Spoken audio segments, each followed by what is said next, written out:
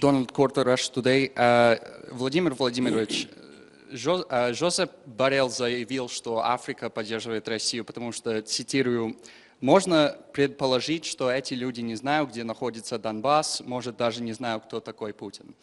А какая реакция ваша на Это кто, это? кто так сказал? Э, Ж- Жозеп Барель. Барель большой, крупный деятель значит, современности, политический деятель современности, так о Брежневе когда-то говорили. Но э, в Африке знают, э, что такое Россия, где находится Россия. В Африке знают ту роль, которую сыграла Россия в ходе освобождения от колониализма. Э, Нет практически ни одной африканской страны, которая не получила бы в свое время нашу поддержку политическую, информационную, экономическую, а иногда и военную.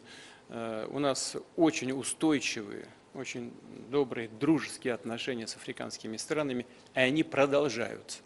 Если бы э, вот те люди, о которых вы говорили, знали, где находится Африка и в каком состоянии находятся народы Африки, тогда не препятствовали поставки бы на, на африканский континент э, российских, э, российского продовольствия и э, российских удобрений, от которых зависит в конечном итоге урожай в африканских странах и спасение сотен тысяч людей в Африке от голодной смерти.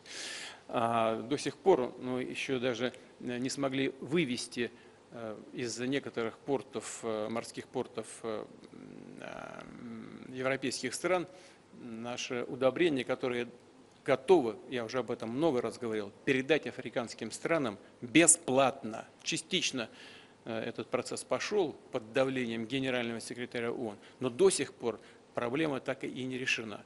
Вот пусть некоторые политические деятели в Евросоюзе перестанут болтать языком о любви к африканским народам, а займутся оказанием прямой поддержки этих стран. В том числе не скупают на а, на деньги, которые они печатают, продовольствие на мировых рынках, не поднимают цены, не раздувают инфляцию и не ставят народы Африки в безвыходное положение.